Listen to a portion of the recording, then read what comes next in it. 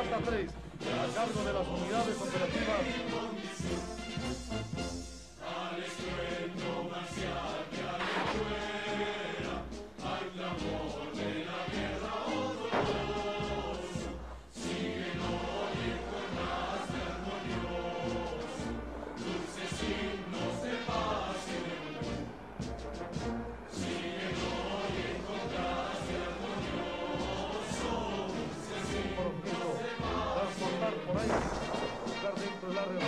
fuerzas combatientes necesarias para la ejecución de municiones terrestres de una forma subrepticia para obtener información sobre las principales tareas de apoyo de combate que realiza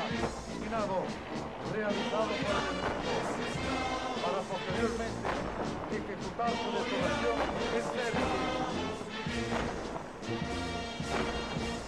finalidad de permitir la apertura de varias fechas y solamente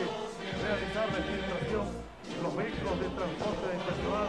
de la zona de operaciones y estar en condiciones de cumplir nuevas misiones.